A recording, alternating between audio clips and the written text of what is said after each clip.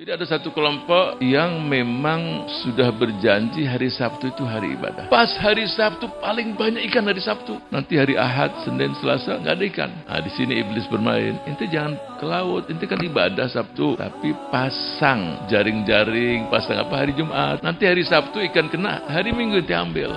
Kelompok yang satu mengatakan, ya fulan, inti jangan main-main. Ini azab akan turun. Ini khilah, ini tipu muslihat saja. Nah, dia melakukan yang namanya nahi mungkar. Akhirnya antara kelompok yang melakukan nahi mungkar.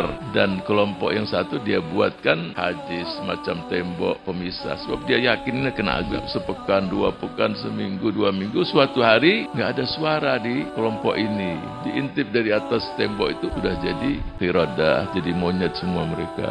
Ibnu Abbas ketika menyampaikan riwayat ini baka menangis. Dia katakan maksiatun wahidah satu kali maksiat terus diturunkan azab kepada mereka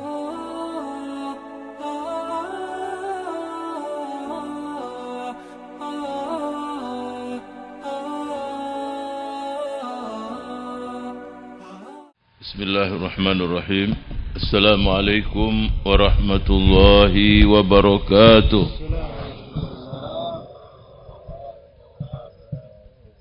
الحمد لله رب العالمين والصلاة والسلام على أشرف الأنبياء والمرسلين سيدنا ونبينا وحبيبنا ومولانا محمد وعلى آله وصحبه ومن اتبع هداه إلى يوم الدين أما بعد. اللهم إنا نسألك علما نافعا وقلبا خاشعا ولسانا ذاكرا وعملا متقبلا. الحمد لله والشكر لله ولا حول ولا قوة إلا بالله. Jamaah Masjid Selasa yang saya hormati dan saya muliakan Alhamdulillah kita dipertemukan kembali. di pengajian Selasa ini kita akan teruskan kajian kita melalui kitab Nasu'ih Diniyah. Saya persilakan Akhuna Suwanto untuk membacakannya. Boleh tafadhal mashkuran. Bismillahirrahmanirrahim. قال المؤلف رحمه الله تعالى ونفعنا الله بي وبعلومي في الدارين آمين وقوله تعالى ويأمرون بالمعروف وينهون عن المنكر وأولئك هم المفلحون. والفلاح والفوز بسعادة الدنيا والآخرة. والأمر بالمعروف والنهي عن المنكر من أعظم شعائر الدين وأقوى تعائم الإسلام وأهم الوظائف على المسلمين. وبهما قوام الأمر وصلاح الشأن كله. وبإهمالهما تتعطل تتعطل الحقوق وتتعدى الحدود ويخفى الحق ويظهر الباطل والمعروف عبارة عن كل شيء أمر الله بفعله وأحب من عباد القيام به والمنكر كل شيء كره الله فعله وأحب من عباده تركه.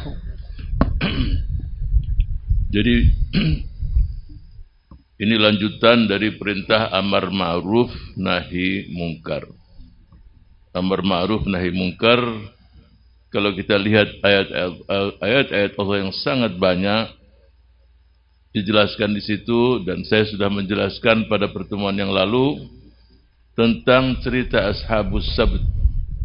Cerita kelompok Bani Israel yang melanggar waktu ibadah di hari Sabtu yang sudah ditentukan tersebut yaitu kelompok-kelompok yang hidup di zaman Nabi Allah Dawud. Bahkan perintah amar ma'ruf nahi mungkar kalau kita lihat dalam surat At-Taubah surat yang ke-9 ayat 71 itu perintah amar ma'ruf nahi mungkar didahulukan dari perintah dari melaksanakan mendirikan solat dan mengeluarkan zakat. Jadi kalau kita baca ayat tersebut, mereka-mereka yang melaksanakan amar ma'ruf nahi mungkar itu sebelum melaksanakan ibadah salat dan mengeluarkan zakat. Silakan terus. Wal qiyamu bidzalika a'ni al-amr wan nahy la budda minhu wa la rukhsata fi tarkih wa qad qala alaihi salatu wassalam man ra'a minkum munkaran falyughayyirhu Fa illam yastati fa bilisani fa fa illam yastati fa biqalbi wa dzalika adhaful iman. Ra'a minkum munkaran. Jadi melihat kemungkaran maka rubahlah dengan tangan. Berarti mereka-mereka yang punya kekuasaan, punya power. Jadi bukan sembarang orang yang melaksanakannya, tetapi mereka yang punya kekuatan kedudukan dan jabatan serta didukung dengan undang-undang, maka rubah, jangan dibiarkan. Kecuali mereka yang tidak punya kekuatan. Cukup dengan apa? Dengan lisan, dengan disampaikan dengan kata-kata. Kalau penguasanya mampu merubah, tapi tidak merubah, dekati, nasihati. Bicarakan dengan dia, nanti dia yang melaksanakannya. Kalau tidak mampu dengan lisan, ya dengan hati. Artinya hati tidak setuju karena memang dua-duanya dia tidak memilikinya. Silakan. وفي رواية أخرى وليس وراء ذلك يعني الإنكار بالقلب من الإيمان مثقال ذرة وقال عليه الصلاة والسلام ليس منا من لم يرحم صغيرنا ولا يوقر ويوقر كبيرنا wa ya'mur bil ma'rufi wa yanha 'anil munkar. Coba kita lihat, laisa minna man lam man lam yarham saghirana. Irhamu man fil ardi yarhamukum man fis sama. Jadi manusia itu atau seorang mukmin ya, kerjanya itu menyebarluaskanlah, menyampaikan sifat-sifat yang santun, yang rahmah, mengasihi mereka-mereka yang lemah. Juga tidak dikatakan seorang mukmin pula yang tidak menghormati orang lebih tua. Itulah yang dikatakan akhlak, sifat tawazu. Juga melaksanakan amar ma'ruf nahi mungkar. Ada satu peristiwa di zaman Rasul Shallallahu Alaihi Wasallam. Ada salah satu pimpinan kabilah yang bernama Adi ibn Hatim At-Ta'i. Orang ini di daerahnya posisinya seperti raja lah. Sangat dimuliakan. Dia mendengar Islam. Dia tahu yang namanya Kisra, Kaisar, Romawi, Persia, raja-raja di dunia dia kenal dia mengenal dan mendengar tentang Rasul kita Shallallahu Alaihi wa alihi Wasallam. Dia udah bayangkan ini pasti raja. Ya. Ketika dia datang di kota Madinah, dia bertemu Rasul mengajak ke rumahnya Shallallahu Alaihi Wasallam. Kita baca dalam beberapa riwayat, terutama di kitab Ibnu Hisham. Tafadhal. Silakan Haji Haris. Datanglah dia ke Madinah dan diajak oleh Rasul sallallahu alaihi wa alihi wasallam ke rumahnya. Di tengah jalan istauqafathu ada seorang wanita tua hitam menghadang Rasul sallallahu alaihi wasallam Fawaqafa tawilan. Rasul berhenti di depannya itu wanita lama didengerin dia diungkapkan unek-unek dan keinginannya. Si Adi ibn Hatim At-Ta'i dia melihat Laisa hadza bi akhlaqi. Ini bukan karakter dan perilaku para raja yang saya kenal di seluruh dunia. Mahada illa akhlaqul anbiya'i war rusul. Ini hanya terjadi ini kalau seseorang punya akhlak para rasul, rasul dan para anbiya. Bukan hanya itu keinginan didatangi lagi. Ada beberapa riwayat mengatakan, wahai Rasulullah, saya ini kan hamba saya. Terus terang aja dikerjakan pekerjaan yang di luar kemampuan saya. Dulu masih muda, mungkin masih kuat. Disuruh ini, habis suruh memasak, mencuci. Ini saya nggak kuat. Tolong omongin deh majikan saya ini. Ada beberapa riwayat. Rasul datang ke rumahnya. Diomongin coba. Mahada. Yang gini nggak ada kecuali akhlak para ambiya. Itu yang membuat dia tertarik dan masuk Islam. Belum ketika di rumahnya bagaimana Rasul mempersilahkannya dengan ya karpet duduk bersama-sama panjang diceritakan. Jadi kalau seorang mukmin tidak punya sifat rahmat pada sesamanya, tidak juga menghormati orang yang mesti dihormati, tidak melakukan amar ma'ruf dan nahi mungkar, terus apa yang bisa dibanggakan dari seorang mukmin? Ini yang dijelaskan. Silakan. Wa qala alaihi salatu wassalam, "Wallazi nafsi biyadihi la ta'murunna bil ma'ruf wa la tanhawunna 'anil munkar." المنكر ولتأخذن على يد الظالم أو لا يبعثن الله عليكم عقابا من عنده وقال عليه الصلاة والسلام إذا هابت أمتي أن تقول للظالم يا ظالم فقد تودع منها ومعنى ذلك فقد ذهب خيرها ودنا هلاكها Kalau tidak ada yang melaksanakan amar ma'ruf dan nahi mungkar, mungkin amar ma'ruf banyak. Tapi yang melakukan nahi mungkar yang sedikit. Sifat takut, sifat ini. Orang kalau takut sama manusia, akhirnya yang terjadi takut dengan segala sesuatu. Tapi kalau takut sama Allah, Allah akan membuat orang lain semua juga takut sama dia. Saya ceritakan di zaman Belanda. Ini peristiwa terjadi. Mungkin masyarakat di kota Pekalongan tahu. Ada seorang soleh ma'ruf lah di Pekalongan. Di zaman Belanda coba. Ada wanita yang pakaiannya itu sampai pahanya kelihatan. Yang namanya, dia merasa dia punya power lah. Kemudian dia tegur dan dengan, ya mungkin untuk orang awam, nggak mau lah. Mau nggak mau akhirnya polisi di zaman Belanda itu uh, Allahumma sholli ala sayyidina Muhammad membawa dia dipanggil ke kantor polisi. Artinya dia menunjukkan bahwa ini nggak dibolehkan dalam Islam. Mungkin kalau di kampung lain dia silakan, tapi di daerah dia itu semua pakai hijab. Ini menampakkan pakaian yang membuat masyarakat juga terganggu keislamannya. Dia dengan tongkatnya dia pukul aja mungkin. Walaupun nggak keras tapi dia akhirnya dibawa dia kantor polisi. Antum tahu ketika dia dibawa kantor polisi, polisi pada lari zaman itu. Karena melihat dia datang kiri kanannya singa juga. Lari udah daripada deketin singa. Padahal dia datang biasa. Jadi orang kalau takut sama Allah, Allah membuat orang lain pun takut pada dia. Tapi kalau takut sama manusia, ya Allah akan jadikan dia takut dengan apa segala sesuatu. Apa pun dia sendiri yang takut. Dibuat dirinya itu jadi penakut. Ngelihat sesuatu yang nggak mesti takut, jadi takut juga. Silakan. Wala yaqbalullahu ta'ala. Sehingga ungkapan la ilaha illallah bukan hanya dimanai tidak ada Tuhan selain Allah. La ilaha illallah, tidak ada Tuhan selain Allah. La ilaha, tidak ada yang memberikan rezeki kecuali Allah. La, tidak ada yang, yang ditakuti kecuali Allah. Maknanya itu luas. La razika illallah. Tidak ada tempat kita bersandar kecuali kepada Allah. Itu makna la ilaha illallah. Jadi maknanya itu luas.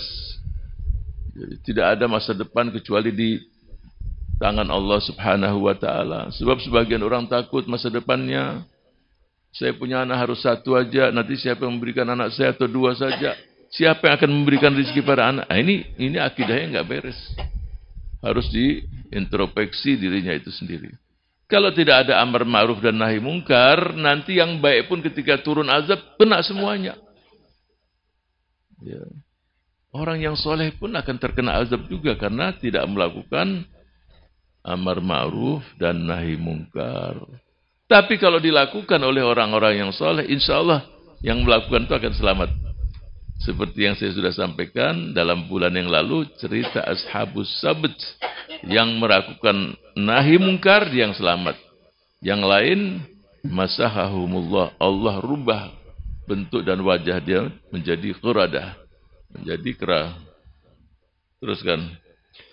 ولا يقبل الله تعالى الأعذار الباردة والتعللات الكاذبة يتعلل بها أبناء الزمان في ترك الأمر بالمعروف والنهي عن المنكر وذلك كقولهم إنه لا يقبل منا مهما أمرنا أو نهينا أو أنه يحصل لنا بواسطة الأمر والنهي أذى لا نطيقه وأشبه ذلك من توهمات من لا بصيرة له ولا غيرة على دين الله تعالى. وإنما يجوز السكوت عند تحقق وقوع الأذى الكثير أو تيقن عدم القبول ومع وجود ذلك فالأمر والنهي أفضل وأولى غير أنه يسكت الوجوب. Jadi begini. Jadi nggak ada cerita alasan-alasan yang sebenarnya alasan rekayasa saja. Orang kadang-kadang mengatakan, wah ini berat, nggak ada gunanya, dinasihati juga nggak nggak mempan. Ya, ini juga saya ceritakan cerita ashabus sabat tahun apa, bulan yang lalu. Jadi ada satu kelompok, ya saya ulang lagi lah, tidak apa-apa sebab sebagian mungkin tidak hadir satu kelompok yang memang sudah berjanji hari Sabtu itu hari ibadah. Dan mereka kelompok nelayan. Pas hari Sabtu paling banyak ikan hari Sabtu. Sampai main-main di atas air, baringan ikan, ya udahlah macam-macam. Nanti hari Ahad, Senin, Selasa nggak ada ikan. Nah, di sini iblis bermain. Ente jangan ke laut, ente kan ibadah Sabtu. Tapi pasang apa namanya? jaring-jaring, pasang apa hari Jumat, sore pasang aja. Nanti hari Sabtu ikan kena, hari Minggu ente ambil. Nah, itu. Kan hari Sabtu enggak. Kita enggak ke laut. Nah, itu. Akhirnya benar dia buat. Kelompok yang satu mengatakan Ya fulan, itu jangan main-main. Ini azab akan turun. Ini khilah, ini tipu muslihat saja. Kalau udah dilarang, ya dilarang. Jangan pakai buat jaring hari Jumat, Sabtu dibiarkan, ah diambil. Nah, dia melakukan yang namanya nahi mungkar. Yang satu mengatakan nggak perlu dinasihati juga nggak kedunanya, nanti biar azab turun sama mereka. Akhirnya antara kelompok yang melakukan nahi mungkar dan kelompok yang satu dia buatkan hadis semacam tembok pemisah. Sebab dia yakin ini kena azab.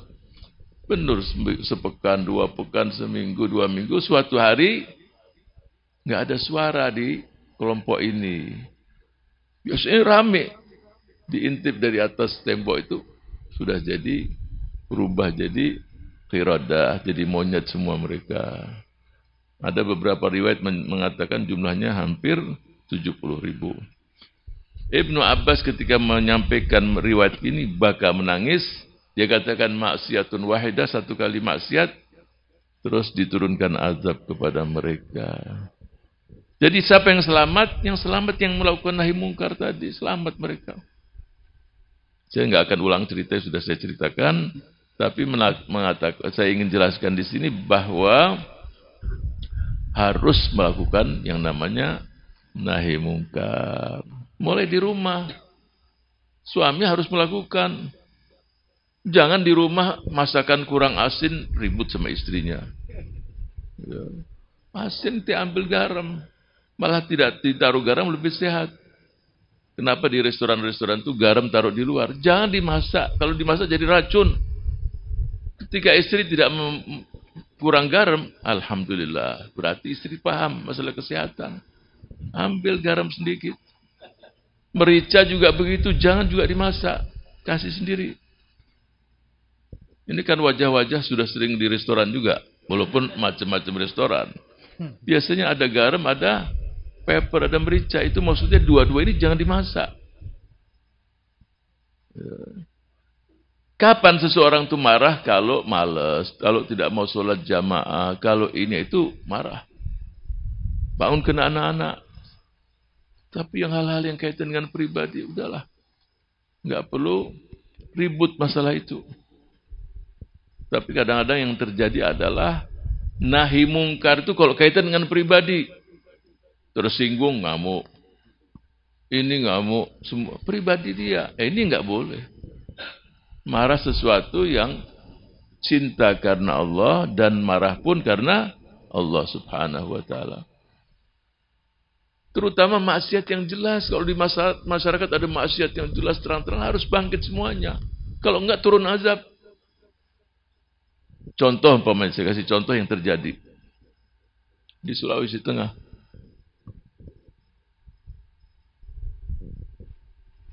Dua, 2016 masyarakat memunculkan tradisi lama. Tradisi lama itu sesajen ke laut. Itu sebelum Islam. Kambing atau sapi ditombak terus disajikan ke laut. Ya. Saat-saat itu ketika sesuatu muncul, nggak biasa yang muncul ada puluhan buaya itu muncul di, di, di laut itu sendiri karena sabung dengan sungai. Dianggap biasalah. Sudah diingatkan oleh sebagian masyarakat, bagian ulama. Tahun berikutnya masih juga dimunculkan. Alasannya apa? Kita mau mendatangkan turis. Ini masyarakat muslim. Para ulama, para pendiri al-khairat, kakek kami sendiri sudah me, sudah gak ada lagi yang itu. Sudah muncul. Al-Habib Idrus bin Salim Al-Jufri udah gak ada lagi zaman dia. Muncul berikutnya lagi angin. Jadi tenda-tenda pada jatuh semuanya. Terakhir pun masih juga kemarin di 2018 ya. Akhirnya itulah yang datang. Gempa bumi, tanah bergerak, tsunami, yang di pantai itu semua kelautan, nggak tahu jumlahnya berapa. Hotel-hotel 8 tingkat semua runtuh. Sudah tidak tahu berapa desa-desa tenggelam. Ada dua desa besar. Azab turun. Ini azab. Yang soleh pun dia bisa kena. Tetapi mereka-mereka yang mengingatkan, melakukan nahi mungkar, insya Allah mereka selamat semuanya. Jadi kalau ada kalau ada kemaksiatan yang terang-terangan harus ditegur, jangan diam. Kalau kemaksiatan yang tidak kelihatan, selagi ada iblis sampai kiamat pun, sampai kapan pun dia ada maksiat. Yang tidak kelihatan, jangan kita melakukan yang namanya memata-matai orang. Udah maksiatan yang enggak antara dia dengan Allah. Silakan. Wal ujbu anna ahadahum idza shutima aw ukhidha min malihi walau syai'an yasiran tadiqu alaihi dunya wa la yumkinuhu sukutu wa la yata'allalu bi syai'in min tilka ta'allulati allati yata'allalu biha fi sukuti anil alal nah, munkarat. Ah, ini contohnya kalau kaitan dengan pribadi dicaci maki sama seseorang, masalah hartanya ribut dia, Tapi ketika sesuatu yang berkaitan dengan agama, meremehkan. Nah ini yang nggak boleh. Kalau pribadinya dijelek-jelekan terus sibuk. Kita kita baca dalam sejarah Al-Imam Al-Hasanul Basri radhiyallahu anhu. Ada seseorang mengatakan, wahai imam, si fulan mengatakan kepada kamu ABC yang membuat Imam Hasan supaya marah. Dia tenang aja. Apa jawabannya? Aturidu antakuna bari dan di syaitan, kamu jadi tukang pose setan sini. Jadi dia nggak berikan peluang orang itu membuat dia emosi. Aturidu antakuna bari dan di syaitan. Ini korma serahkan sama si fulan, yang ini serahkan sama si fulan. Jadi yang mencaci maki dia itu malah dibagikan dibalas dengan dengan kurma, ada yang 5 kilo, ada yang 7 kilo, udah kasih. Setelah itu selesai. Jadi orang ketika berbuat buruk dengan kita, jangan dengan buruk juga. Jangan di situ melakukan nahi mungkar, bela diri, jangan. Ini pribadi. Kita lihat bagaimana baginda Rasul Shallallahu Alaihi Wasallam dan itu suri toladan umat sepanjang masa dan sepanjang zaman dan ilayomil qiyamah. Gak pernah beliau itu marah kalau kaitan dengan pribadi. Di Taif juga Rasul sabar. Peristiwa apa pun yang berkaitan dengan pribadi ya tidak. Walaupun sahabat yang lain sudah geram, sudah siap untuk memenggal orang yang mau berbuat demikian. Tapi Rasul sabar. Karena kaitan dengan pribadi. Tapi kalau berkaitan dengan agama, dia akan mengatakan, Anan nabiyu. La kadhib ana Abdul Muttalib. Aku seorang nabi, bukan pendusta. Aku yang paling depan. Kalau kaitan dengan membela agama, dia paling depan. Nah, kita harus begitu. Harus kita tahu mana yang namanya nahi mungkar. Bukan kaitan dengan pribadi. Dijelek-jelekan terus kita bela diri seakan-akan di situ nahi mungkarnya. Bukan. Silakan. فهل لهذا مهملا أو وجه سوى أن أعراضهم وأموالهم أعز عليهم من دينهم وإذا سلمنا لهم أنه لا يسمع منهم إذا أمروا أو أنكروا فما الذي يحملهم على مخالطة أهل المنكر ومعاشرتهم؟ فقد وقد أوجب الله عليهم تركهم والإعراض عنهم مهما لم يستجيبوا لله ورسوله. وقد ثبت أن الذي يشاهد المنكرات ولا ينكرها مع القدرة شريك لأصحابها, لأصحابها في الإثم. وكذلك الذي يرضى بها وإن لم يكن حاضرا عندها بل وإن كانت بين وبين الموضع الذي تؤمل فيه مثل ما بين المشرق والمغرب والذي يخالط أهل المنكر ويعاشرهم وإن لم يعمل بعملهم معدود عند الله منهم وإن نزلت بهم عقوبة أصابتهم معهم ولا ينجو ولا يسلم إلا بالنهي ثم بالمجانبة والمفارقة wal إن lahum يقبلوا yakbalu wa jadi begini hidup ini selalu seseorang itu berinteraksi dengan masyarakat. Nggak mungkin hidup sendirian. Olehnya itu kita harus siap-siap. Kalau kita kumpul dengan mereka-mereka yang ahlul ma'asi umpamanya mampu nggak kita melakukan perubahan di situ? Kalau nggak mampu ya jangan di situ kumpulnya. Sebab manusia dalam hidup itu hanya dua pilihan. Imma tu'assir atau tata'assar. Mampu nggak kita mewarnai merubah? Nggak mampu, ya bisa juga terwarnai dengan mereka. Kalau kita mampu dan kita sabar, sebab merubah karakter pun juga tidak mudah. Mungkin bisa sehari dua, tapi kita punya niat. Bukan terus tidak kumpul dengan orang-orang yang berbuat dosa. Memang semua kita juga berbuat dosa. Tapi ada perbuatan itu yang terang-terangan. Yang ya kelihatan sama orang banyak, ini harus dihindari. Ya. Tapi ada mereka-mereka yang berbuat maksiat sirran, nggak ketahuan, tapi seseorang itu tahu ya dinasihati pelan-pelan. Pelan-pelan sampai dia bisa berubah. Walladhi yukhalitun nas wa yasbir ala adahum khairun min alladhi la yukhalitun nas wa la yasbir ala adahum. adahum yang berinteraksi dengan manusia dan sabar sama mereka itu jauh lebih bagus dari mereka-mereka yang tidak kumpul dengan orang dan tidak sabar. Uzlah umpamanya di gunung sendirian, ibadah saja. Mana yang lebih bagus? Kumpul di masyarakat, nasihati, sabar. Ini jauh lebih bagus. Yang ini dicaci maki, yang ini udahlah. Terus tapi kalau dia bisa berhasil menyampaikan pesan-pesan agama, pesan-pesan din kepada mereka dan mereka dapat hidayah, pahalanya luar biasa. Kenapa pahalanya luar biasa? Yang mendapatkan hidayah ketika beramal dia dapat pahalanya terus. Coba. Yang tadinya tidak sholat jadi sholat.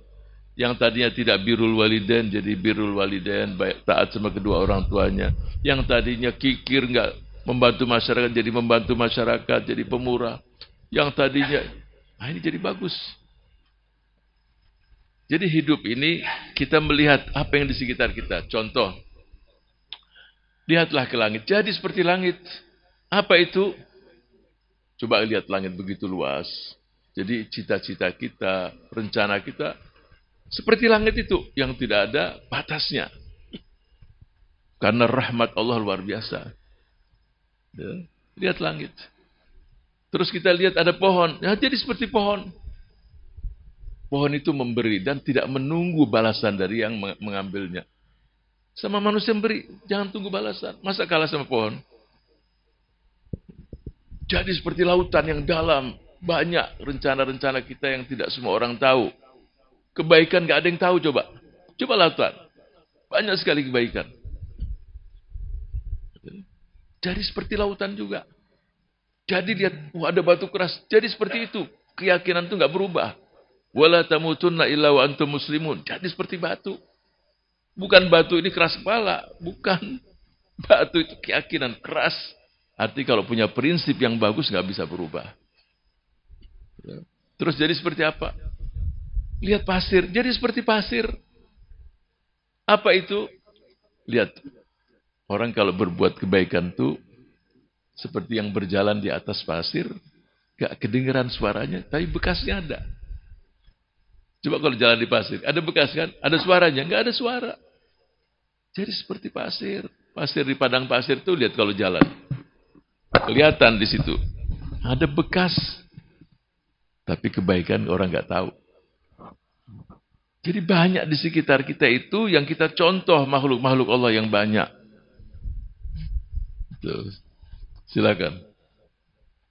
Walhubbu fillahi Walhubbu fillahi li ahli ta'atihi walbughdu fillahi li ahli ma'siyatihi min awsaqi ural iman.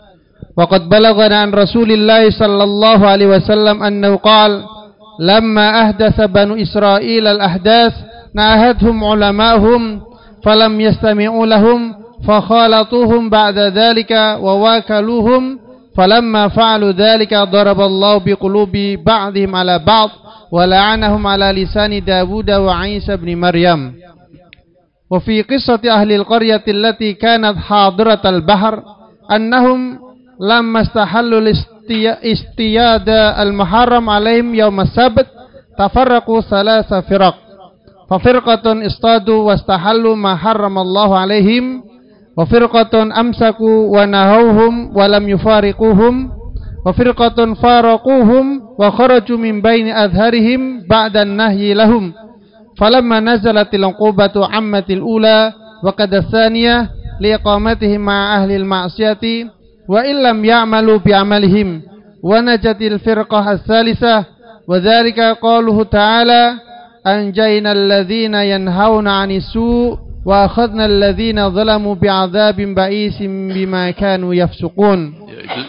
فمسخهم الله. فمسخهم الله. فمسخهم الله قردة ولعنهم كما في الآية الأخرى أو نلعنهم كما لعنا أصحاب السبت. وتكون الهجرة والمجانبة لأهل المعاصي عند الإياس من ya, قبول من saya الحق ceritakan di, di bulan yang lalu. Dalam beberapa riwayat mereka hidup hanya tiga hari. Kemudian ahlakahumullah. Ya jadi hanya tiga hari kemudian setelah itu mereka meninggal semuanya. Walaupun ada yang tidak melakukan kena juga. Nggak melakukan dia kena karena diem. Nah itu. Tapi yang selamat yang melakukan nahi mungkar. Terus. Wa'lam annahu laysa biwajidin ala biwajibin ala ahadin ay yabhatha 'anil munkaratil mustawrah. Masturah. Eh, mas, mustawrah. Hmm. Eh, masturah. Masturah.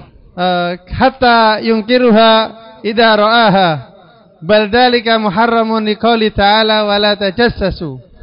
Walikali Nabi alaihi salam man tatabba'a aurata akhi tatabba'a Allahu auratah. Al-hadis. mungkar yang tidak kelihatan itu tidak boleh di uh, kuntiti atau dicari-cari atau di ya udah nggak kelihatan antara dia dengan Allah. Jangan terus eh kamu tadi berbuat ini kan? Kamu kan kelihatannya antum ini berbuat maksiat. Jangan. Kalaupun ada seseorang yang berbuat maksiat diam-diam dan seseorang tahu, tutup aibnya tadi. Man satara musliman satarahullahu yawmal qiyamah. Yang menutupi aib seorang muslim, Allah akan tutup aibnya nanti ke hari kemudian. Jangan aib yang seseorang tahu terus cerita sana sini. Menasihati seseorang di depan orang banyak tidak boleh. Ini orang buat dosa. Wahai si pulan, anak nasihati ya kamu ya.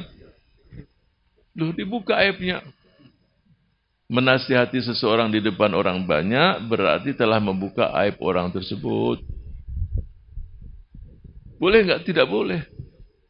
Coba kita lihat bagaimana baginda Rasul sallallahu alaihi wasallam, "Ma balu qaumin yaf'aluna kaza wa kaza." Kenapa ada sekelompok masyarakat yang melakukan ini? Yang melakukan ada di situ. Oh saya ini berarti. Tapi nggak ada yang tahu. Dan tidak boleh merendah-rendahkan diri pula di depan orang. Contoh, seseorang mengatakan, teman-teman, saudara-saudaraku, saya ini kan kurang infak. Saya terus terang kurang puasa Senin Kemis masih kurang. Orang tahu dia puasa Senin Kemis. Orang tahu dia paling banyak infaknya. Tapi ketika dia ngomong begitu berarti dia ingin dipuji. Man dhamma nafsahu amamal mala'i faqad madahahu. Yang menjelek-jelekkan, merendahkan diri di depan orang banyak berarti dia mau dipuji. Dia mau dipuji itu. Wa man nasaha akhahu amamal mala'i faqad fadhahahu. Yang menasihati orang di depan orang banyak berarti dia buka aib orang tersebut. Dua-duanya tidak boleh. Ada juga yang mengatakan ya supaya tidak ketahuan ini bantuan dari hamba Allah. Pamannya kan satu masjid itu tahu hamba Allah dia juga. Boleh enggak? Mendingan terus terang aja udah. Coba itu. Nanti ada ada yang ngomong, wah lihat juga. Dia yang bantu tapi tetap hamba Allah. Ya memang dia hamba Allah tapi akhirnya dia puji. Ah, itulah keikhlasannya nanti bisa tidak ikhlas. Olehnya itu ulama kita mengatakan al-mukhlisuna fi khatar, orang-orang ikhlas itu dalam bahaya juga. Yang selamat yang apa? Al-mukhlasun. Yang aman itu yang mukhlasun bukan mukhlisun. Saya sering tanya, apa bedanya mukhlisun dan mukhlasun? Ada yang jawab.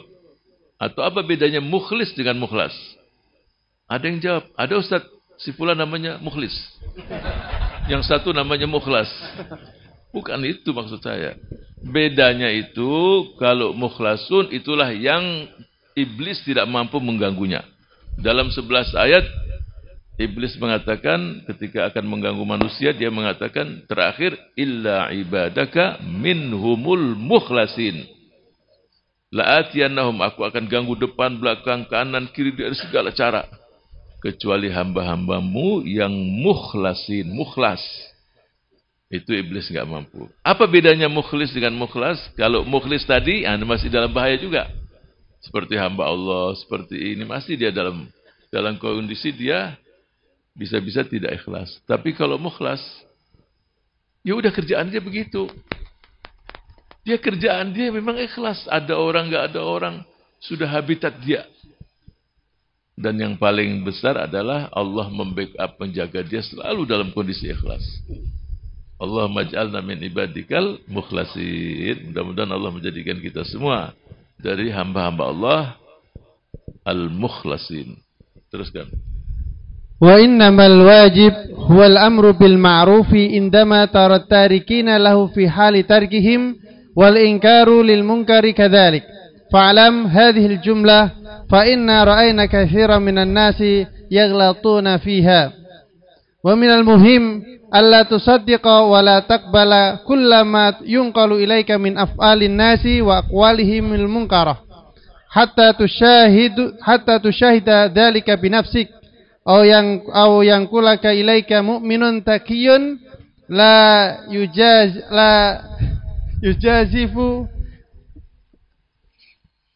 wala yaqulu illa al-haq. Jadi jangan terburu-buru menerima kabar.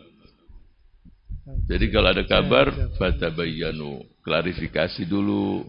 Benar enggak berita ini? Antusibu qauman bijahalatin. Jadi kalau kita dengar kabar langsung menghukum kenyataannya sikap tadi tidak benar. Harus klarifikasi tanya di berita sana sini, jangan terburu-buru. Wala tajassasu wala yaghtab ba'dukum ba'dhan ayuhibbu ahadukum an ya'kula lahma akhihi maitan fakarihtumu. Gunjing juga enggak boleh. Jadi ada orang-orang kalau dikasih berita, Hasan, nanti kalau ada berita lagi, kabarin anaknya. Enggak boleh juga.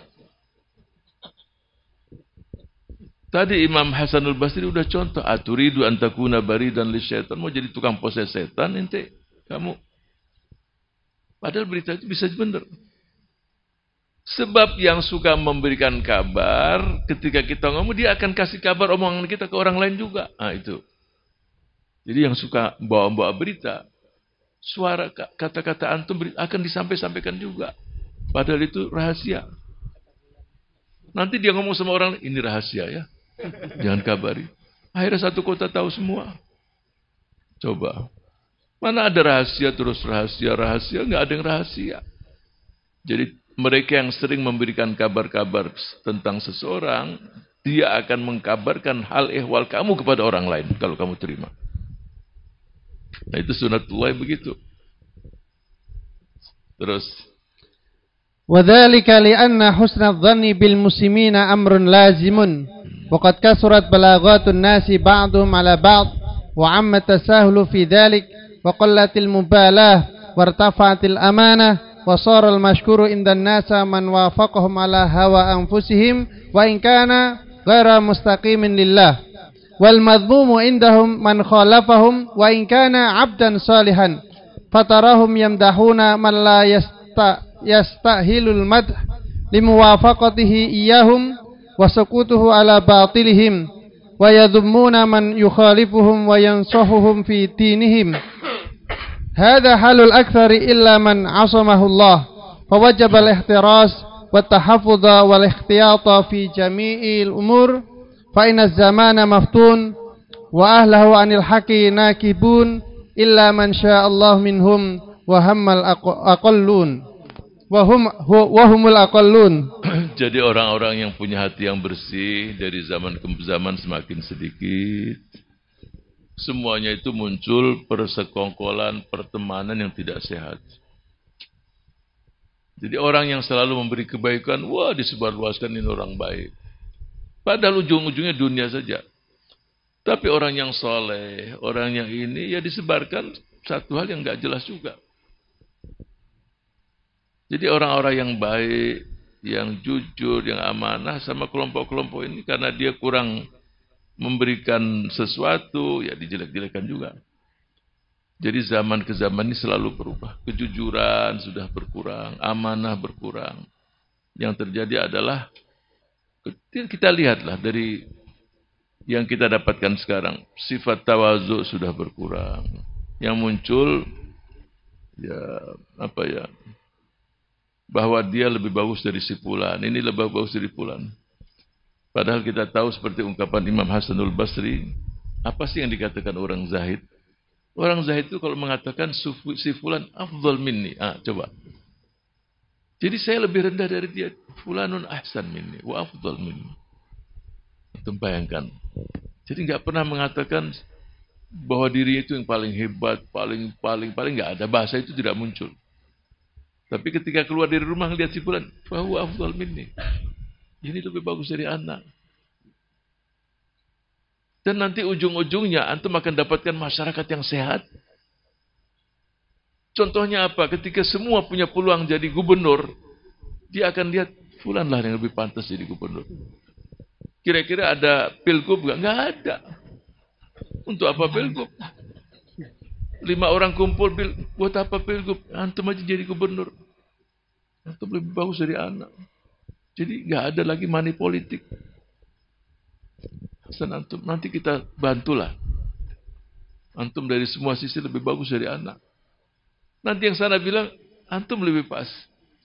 Sampai muter-muter ya mudah-mudahan kena yang pertama biasanya begitu.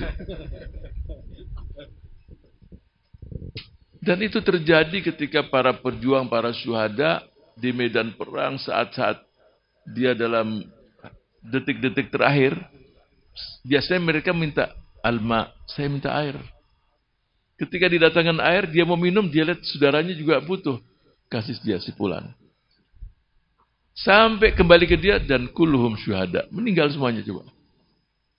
Air pun mendahulukan yang lain. Coba.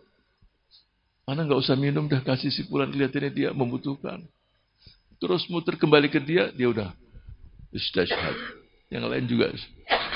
Itulah jiwa-jiwa yang bayangkan kalau masyarakat memiliki orang-orang semacam ini, apa enggak akan terbentuk yang namanya baldatun toyibatun warabun ghafur akan jadi. Tidak ada kesombongan di bumi ini kecuali Allah menghancurkan mereka-mereka yang sombong. Kalau dia suatu negara, negaranya akan hancur. Kalau dia yang namanya Titanic kapal, kapal pun tenggelam. Challenger hancur juga. Ini Presiden Cina Xi Ping, Pin, Pincing. Xi Xi Jumping. Atau Chin Jam, Janping ya? Xi Xi Jinping. 70 tahun RR eh, perayaan 70 tahun Republik Rakyat Cina. Dia mengatakan tidak ada kekuatan pun yang bisa melawan menghancurkan Cina. Virus. Dan diprediksikan virus ini dalam waktu dekat akan mencapai 600 juta Cina. 40% dari penduduk Cina. Yang meninggal atau tidak meninggal akan tersebar. Hancur-hancuran coba. Saudara-saudara kita di Uyghur pakai pakaian Islam, pakai jilbab dilarang. Ini sekarang mereka pakai semua. Dan terpaksa. Pakai kan. Tutup kepala, ini semua. Dan kondisi terpaksa. Coba. Semua ditutup.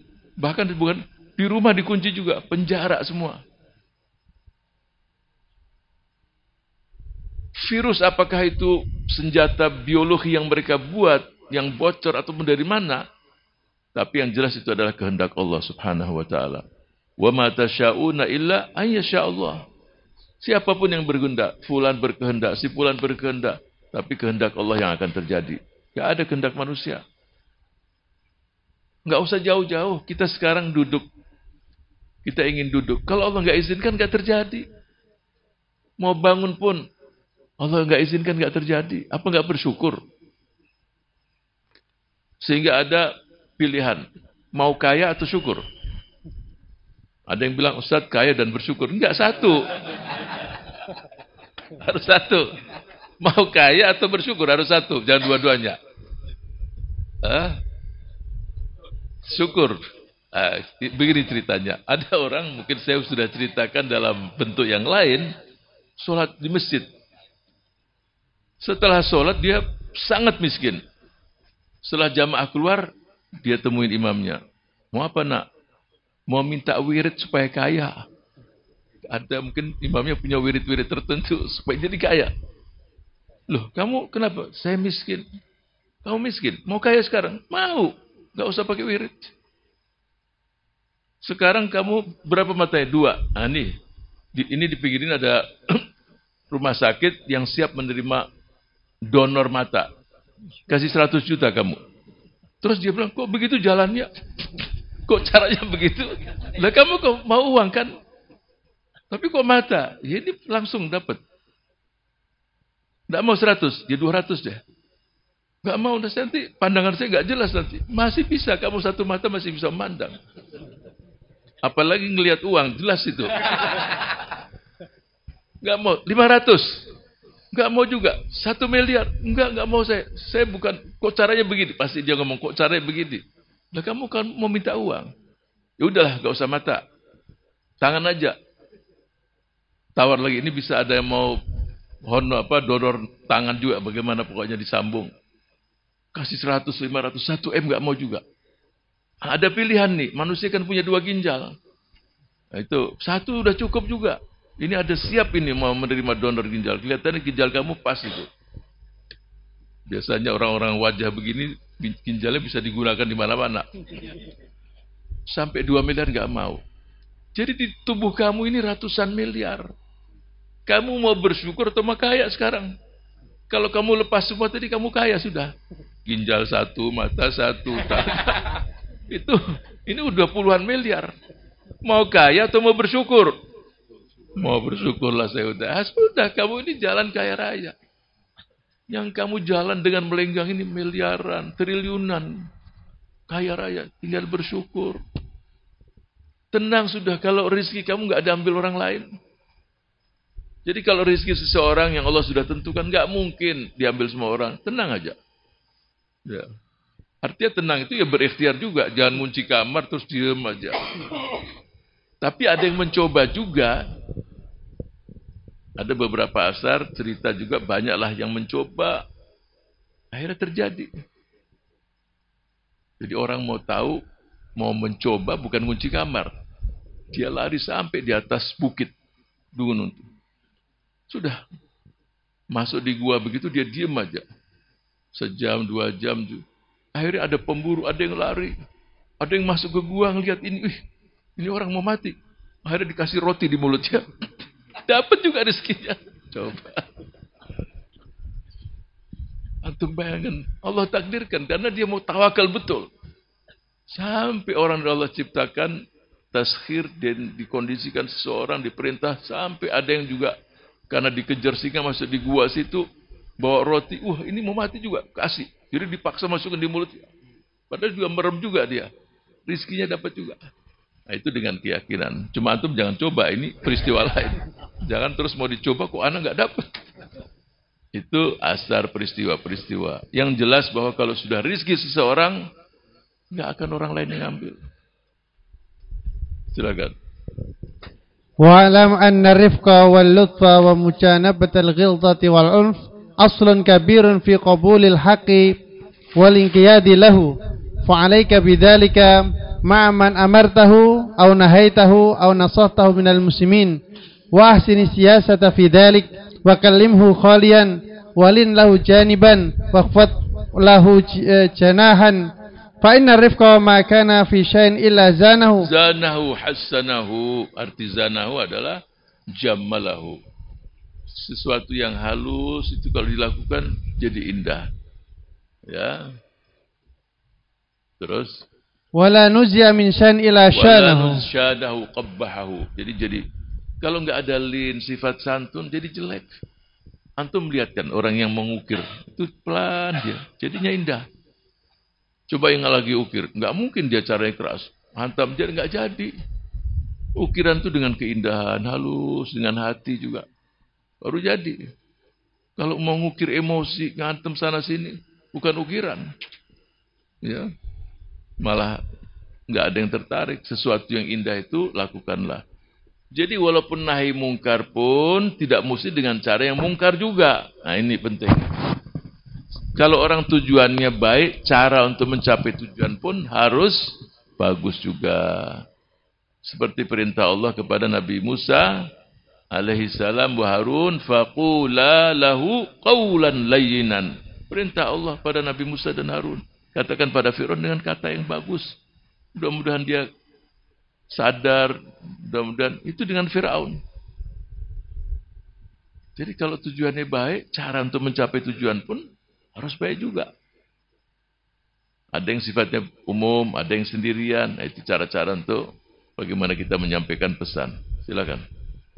كما قال عليه الصلاة والسلام وما- وكما قال الله تعالى لرسوله فبما رحمة من الله لنت لهم ولو كنت فظا غليظ القلب لانفضوا من حولك Jadi Wak- bayangkan itu Rasul kita Shallallahu Alaihi wa alihi Wasallam. Ya, kalau tidak dengan sifat yang santun, kalau bukan karena kesantunan, kalau dengan sifat kasar, keras, orang akan lari semuanya. Jadi santun, ya basyiru wala tunaffiru, yassiru wala tu'assiru itu perintah-perintah dari baginda Rasul Shallallahu Alaihi Wasallam. Berikan kemudahan, jangan membuat kesulitan. Kasih kabar gembira, Jangan sering nakut-nakuti orang terus. Jadi kalau para duat, para dai jangan cerita neraka terus. Nanti masyarakat, wah ustadznya ini pasti neraka lagi. Jangan. Kalau antum cerita neraka, cerita surga dan Quran selalu begitu. Ada surga, ada neraka. Dan jangan beri kesulitan sama orang. Kasih kemudahan. Agama ini tidak sulit. Kita lihat bagaimana Rasul kita Shallallahu Alaihi Wasallam ketika sholat kedua cucunya Sayyidina Hasanul Husain menungganginya. Antum sebagai orang tua pun harus siap-siap. Jangan terus marah sama ibunya. Ini bagaimana? Bagaimana kita bisa khusyuk? Ini anak-anak ini, naik-naik ini. Ya ente ada anak pun gak khusyuk juga masalahnya. Akhirnya anak-anak yang disalahkan. Anak umur 3-4 tahun dia nggak nggak ada cerita, nggak paham dia. Apalagi kalau di rumah nggak ada mainan. Sudah pas bapak ibu sholat, ini kuda-kudaan, lumayan. Biarkan. Ketika kedua cucunya menunggangi Rasul, Rasul lamakan sujudnya. Kenapa? Supaya anak-anak ini nikmat. Apa yang terjadi? Cinta dengan sholat. Anak umur 3-4 tahun cinta. Nanti dia ingatkan bapak ibunya, ayah, bu, sholat. Dia bukan mau sholat. Lumayan banyak kuda-kudaan di rumah. Anda melihat itu indahnya. Dan apa yang terjadi sejak kecil dia udah cinta. Kalau bapaknya kasar, apalagi bapaknya tahu nggak boleh lewat orang di depan sholat, anak pun ditampar. Akhirnya ada yang pakai apa namanya luka sana sini sebab orang tua nggak paham, nggak tahu, nggak memahami agama secara luas, parsial saja. Jadi indah agama ini. Dan sangat luar biasa. Tidak seperti perilaku yang mengatakan negeri-negeri yang tidak teroris, tapi perilakunya teroris semua. Mulai dari Israel, coba lihat bangsa, saudara-saudara kita di Palestina. Lihat di Cina, ketika umat Islam minoritas, maka terjadi perilaku-perilaku yang tidak manusiawi, yang melanggar hak asasi manusia. Di India kita lihat bagaimana masjid-masjid dihancurkan. Rasul dalam saat perang sallallahu alaihi wasallam tanaman jangan ditumbangkan, benak petani jangan dibunuh, tempat ibadah jangan dirusak, wanita jangan disakiti. Yang perang dengan yang perang aja. Apalagi dalam kondisi damai. Kita lihat bagaimana umat Islam di Spanyol ketika minoritas. Kita lihat bagaimana di Bosnia dan Herzegovina, bagaimana di India sekarang. Kita lihat bagaimana di Israel, bagaimana di Cina. Ketika minoritas disiksa. Buktikan sekarang dalam sejarah, ada enggak mereka-mereka yang minoritas yang disakiti oleh umat Islam? Tidak ada dalam sejarah. Man adza dhimiyan fa ana khusmuhu yawmal qiyamah. Barang siapa yang menyakiti ahlu zimmah, minoritas yang tinggal dalam panji-panji Islam, aku musuh pertamanya kelak di hari kemudian. Itulah sabda Rasulullah sallallahu alaihi wasallam. Tidak ada. Irhamu man fil ardi yarhamukum man fis sama. Man kana yu'minu billahi wal yawmil akhir falyukrim dhaifahu dhaifahu. Tamunya siapa pun agamanya. Falyukrim jarahu. Tetangganya dihormati. Dua turis dari Eropa masuk ke perkampungan di daerah Turki. Udah jam 9 malam. Cari mana hotel. Masyarakat Turki dipersilahkan. Gak ada hotel, tinggal di rumah kami aja. Tinggal karena gelap.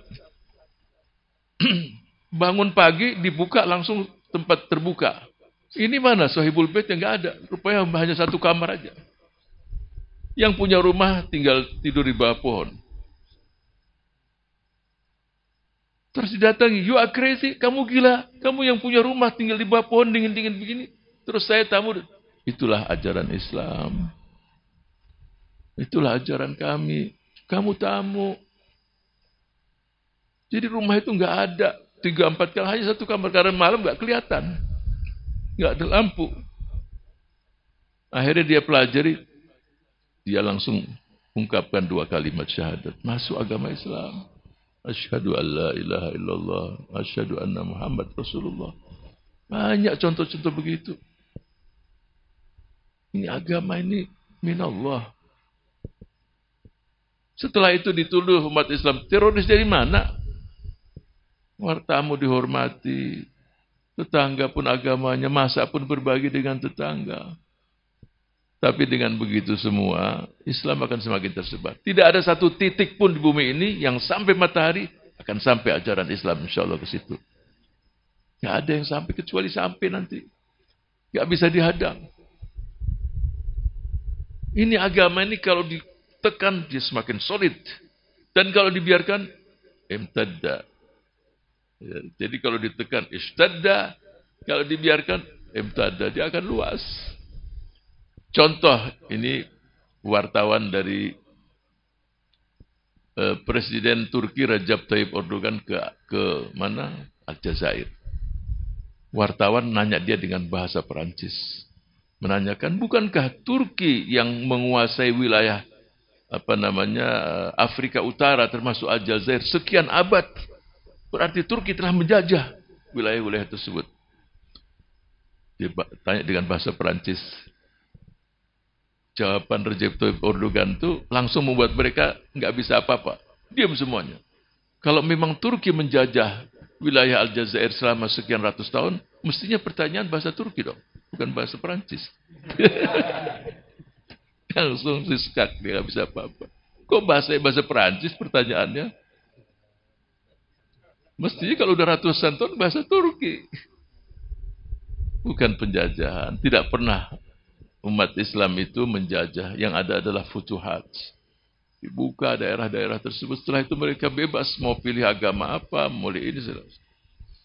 Dan kebebasan itulah yang sangat berharga.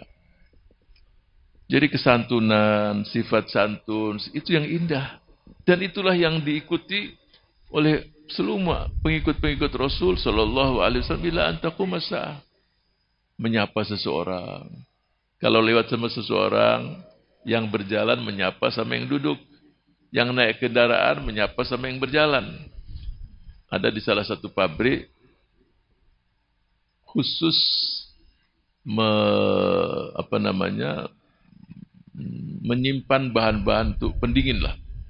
Jadi makanan semua di situ. Salah satu karyawati yang muslimah kalau sudah pulang, biasa sebelum maghrib, itu dia menyapa satpamnya. Pak, jumpa ya. Insya Allah ketemu lagi besok. Sudah berjalan terus. Sampai suatu hari kok nggak keluar ini yang satu ini. Dilihat jam 7, jam 8. Akhirnya didatangi tempat kerjanya. Didatangi, diintip di kaca itu, tergeletak sudah dia di situ. Kok tergeletak di dalam? Rupanya temannya itu ketika mengunci, dianggap di dalam nggak ada orang. Dia teriak ini dingin 10 derajat di bawah nol. Antum belum pernah coba ya 10 derajat bawah nol ya? Anda juga belum coba juga sama. sama. Apalagi 20 derajat. Dia teriak-teriak nggak sempat. Tetap dikunci. Sudah. Insan dia. Ini bapak tadi ini sering disalami tadi. Dibuka. Di bawah. Selamat. Sapaan. Ucapan menyapa seseorang yang di bawah kita. Menyelamatkan nyawa dengan izin Allah. Jadi jangan sombong. Wah itu preman-preman. Ya siapa preman? Yang preman itu bisa jadi orang baik, yang satu ini bisa jadi preman. Memang kalau preman terus maksiat, siapa walaupun seseorang itu ustadz atau orang kaya, siapa yang duduk? Assalamualaikum. Bukan dengan salam-salam yang baru ini, siramin air semua orang. Masa masyarakat muslim dirubah jadi salam Pancasila? Itu keyakinan, salam yang diyakini jangan dirubah-rubah. Jangan, jangan ditambah-tambah enggak karuan. Sudah sesuatu yang indah di negeri ini pertahankan. Yang kurang-kurang disempurnakan, yang jelek dirubah. Jangan yang sudah indah, sudah menjadi konsensus nasional, orang semua bahagia, senang, mau dirubah-rubah. Jangan, jangan apapun langkah kita, gerakan kita yang membuat bangsa ini tidak solid, tidak kuat, nah itu dihindari semuanya. Jadi siapa saja menyelamatkan nyaman. Silakan. وقول تعالى ولا تكونوا كالذين تفرقوا واختلفوا من بعد ما جاءهم البينات نهي من الله لعباده المؤمنين عن التشبه بالمتفرقين المختلفين في دينهم من أهل الكتاب. وأولئك, وأولئك الذين اختلفوا في دينهم لهم عذاب عظيم. فاستعظم رحمك الله جدا عذابا سماه الإله العظيم عظيما. وتفكر فيه وانجو بنفسك منه. وذلك بملازمة الكتاب والسنة ومجانبة الزيغ والبدع والآراء المختلفة والأهواء المتفرقة. واعلم أنه كما تفرق أهل الكتاب واختلفوا في دينهم فقد تفرقت هذه الأمة واختلفت أيضا على وفق ما أخبر به رسول الله صلى الله عليه وسلم في قوله افترقت اليهود على إحدى وسبعين فرقة وافترقت النصارى على سنتين وسبعين فرقة وستفترق أمتي على ثلاث وسبعين فرقة كلها في النار إلا واحدة. وقد افترقت هذه الأمة على هذه العدد من زمان من زمان قديم وتم ما وعد به الصادق الأمين على وحي الله تعالى وتنزيله. ولما سئل عليه الصلاة والسلام عن الفرقة الناجية من هي؟ قال التي تكون على مثل ما أنا عليه وأصحابي. Insyaallah ini akan saya sampaikan di pengajian yang akan datang tentang perpecahan 73 kelompok tersebut. Sebagai penutup saya ingin sampaikan beberapa hal. Yang pertama adalah kaitan dengan hati. Hati ini kadang-kadang keras, kadang-kadang lembut. Kadang-kadang enak ibadah, kadang-kadang khusyuk, kadang-kadang tidak khusyuk. Perhatikan apa yang kita makan. Kalau dalam bahasa Inggris dikatakan you are what you eat, ya kan? kamu itu tergantung apa yang kamu makan. Ini bahasa tidak sederhana. Kamu, you are what you eat. Apa yang kamu makan. Sehingga Abdullah ibn Mubarak mengatakan, satu dirham, taruhlah seribu rupiah yang aku terima dari syubhat, ini aku akan, nggak ada gunanya daripada seratus ribu dirham seratus juta yang aku infakkan. Jadi yang lebih berbahaya ini yang satu satu dirham atau seribu rupiah yang aku terima dari uang yang syubhat itu bisa eh, apa ya penghancur kebahagiaan, penghancur sesuatu yang indah di hati kita daripada 100 juta yang kita infakkan. Jadi kadang-kadang orang kan ngukur kecil besar. Ini satu dirham itu taruhlah nilainya 10 ribu. Itu buat apa kita menerima yang 10 ribu, terus kita mau berinfak dari 100 juta uang kita yang halal.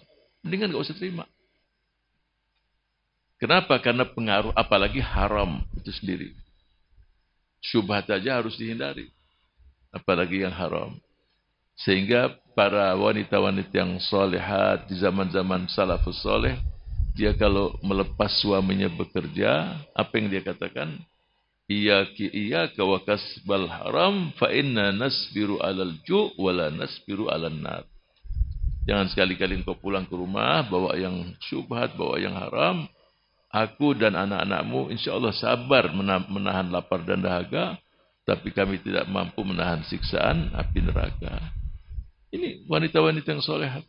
Mestinya juga wanita-wanita yang sekarang itu ikutin begitu sama suaminya. Kalau itu terjadi, saya akan gak ada korupsi. Ini korupsi juga kadang-kadang dari istri juga. Ya. Tapi setelah di penjara suaminya sendiri, istri di luar. Nah, siapa juga? Gak mungkin dua-duanya. Kecuali kalau dua-duanya juga korupsi. Coba, ketika di penjaranya. Nah, cuma para koruptor kita juga ini, ketika ditahan, dada-dada juga dia, senyum-senyum juga. Yang saya khawatirkan ini, negara bukan bukan apa yang terjadi, memelihara para koruptor. Dipelihara akhirnya. Tapi kan negara memelihara fakir miskin. Ya dipelihara, tetap fakir miskin terus, gak sejahtera. Ini pemeliharaannya berbeda. Olehnya itu, makanan yang subhat, yang haram, upayakan dihindari, dihindari, dihindari. Dan istri mengingatkan suami supaya tidak terjadi korupsi tersebut. Diingatkan suami. Pasti kalau suami mbak uangnya banyak, tanya sama istri, ini uang apa ini? Kamu biasa gaji kamu sebulan sekian, kok ini pakai tas-tas semua? Apalagi bentuknya warnanya lain di uang-uang ini. Mungkin dolar atau Singapura atau apa, ditanya. Sehingga suami pun hati-hati. Tapi kalau permintaan istri juga bermacam-macam, akhirnya suami pun melakukan pelanggaran-pelanggaran tersebut. Kalau tumbuh orang tua yang semacam ini, maka akan tumbuh anak-anak yang soleh dan soleha. Jadi nggak mungkin akan tumbuh anak yang soleh dan soleha kalau dikasih terus yang haram-haram. Nggak akan jadi. Contoh ada seorang anak, saya yakin ini orang tuanya dari harta yang halal sekali. Ada seorang seorang bapak-bapak, rupanya dia migran bawa mobil, udah parkir dia. Ada anak usia 12 tahun diketuk pintu jendelanya. Bapak mau parkir? Yang namanya orang migran ditanya juga enggak. Belum nanti nanti deh nak. Kalau gitu saya minta uang 2000. Memang parkir 2000. Ya daripada pusing sama si anak kasihnya 2000. Migran tambah lagi minta uang 2000 ngobrol lagi tambah pusing lagi. Tapi terus diperhatikan sama dia lewat spionnya anak. Ke mana ya nak? Rupanya beli gorengan. Satu gorengan itu seribu. Habis itu gorengan tadi dibawa kepada seseorang yang lagi sandar orang tua di tiang listrik. Setelah itu kembali lagi. Ditanya, tadi kamu kerja apa? Enggak pak, ini kan pas hari libur. Saya kan biasa jualan koran. Hari ini libur. Saya enggak jualan. Saya enggak punya uang kecuali seribu. Ada bapak-bapak itu mau buka puasanya air. Saya nggak sampai hati belikan dia satu seribu rupiah. Terus saya minta uang dua ribu. Memangnya siapa bapak itu? Saya juga nggak tahu. Kenal saja tadi. Bayangkan. Saya nggak kenal sama. Saya sebetulnya profesi saya juga bukan tukang parkir. Tapi ya daripada pus, apa, bukan pusing, mau carikan uang buat si bapak tadi ya saya profesi beda dah. Jadi parkir sementara. Ini uang buat dua puluh ribu buat kamu. Enggak pak. Saya nggak diajari begini sama ibu saya. Saya nggak diajari minta-minta. Buat bapak aja. Bapak masih terus diajar, mau parkir nggak pak? Soalnya uang udah diterima dulu tadi 2000. Bapak nggak jadi parkir. Kalau begitu saya minta izin deh pak. Saya mau menjemput adik saya yang sudah tahfid Al-Quran. Sekarang lagi belajar tahfid. Sekarang waktunya pulang. Ini anak tumbuh kembang dari kedua orang tua yang soleh dan soleha. Dari uang yang halal, nggak ada syubhat. Udahlah nggak usah cari yang besar-besar. Uang yang banyak kalau nggak berkah juga nggak ada uang, nggak ada gunanya. Ya pasti senang kita semua banyak berkah, halalan, toiban, nggak dihisap lah di dunia wala di akhirat. Pasti semua juga mau begitu. Kalau mau doa begitu silahkan. Bapak ya Allah karuniakan kepada kami rezeki yang banyak, yang berkah, yang halal, yang cari yang nggak sulit, nggak diazab di dunia maupun di akhirat, silahkan minta doa begitu, bukan dilarang. Cuma tidak semua orang juga dikabulkan kan. Tapi kalau Ustadz kalau kita minta doa begitu, boleh. Tapi yang paling bagus adalah minta segala sesuatu yang Allah berikan yang pas dengan kita. Ya Allah karuniakan kepada kami cintamu, cinta orang-orang yang mencintaimu, cinta kepada amal perbuatan yang menggapai kami, yang membuat kami mampu menggapai cintamu, dan karuniakan kepada kami cinta untuk berjumpa denganmu. Allahumma rizukna hubbaka, karuniakan cinta. Sampai para salafus soleh juga mengatakan, para solihun, kami sujud padamu ya Allah dan kami tidak pernah melihatmu. Kami memohon ampun padamu ya Allah dan kami tidak melihatmu. Dan kami bersandar padamu dan kami tidak melihatmu. Kasihanilah kami ya Rabb. Cintailah kami ya Rabb. Ampunilah segala dosa-dosa kami ya Rabb ketika kami berjumpa denganmu ya Rabb. Sajatu laka walam arak. Wasta'antu bika walam arak. Warajautu minka walam arak. Fa ahsin ilayya wa ilayna jami'an rabhina manalqak. Mudah-mudahan Allah Subhanahu wa taala menjadikan kita min ibadihi mukhlasin, jadikan kita min ibadihi salihin, menjadikan kita dan keluarga kita dan mereka-mereka yang kita cintai, mereka-mereka yang mendapatkan cinta Allah, cinta Rasul sallallahu alaihi wasallam dan kita kembali kepada Allah insyaallah dengan husnul khatimah. Amin ya mujibas sa'ilin. Rabbana taqabbal minna innaka antas samiul alim. وتب علينا إنك أنت التواب الرحيم وصلى الله وسلم على سيدنا ونبينا وحبيبنا محمد وعلى آله وصحبه أجمعين والحمد لله رب العالمين والسلام عليكم ورحمة الله وبركاته. Assalamualaikum Bersama saling sapa TV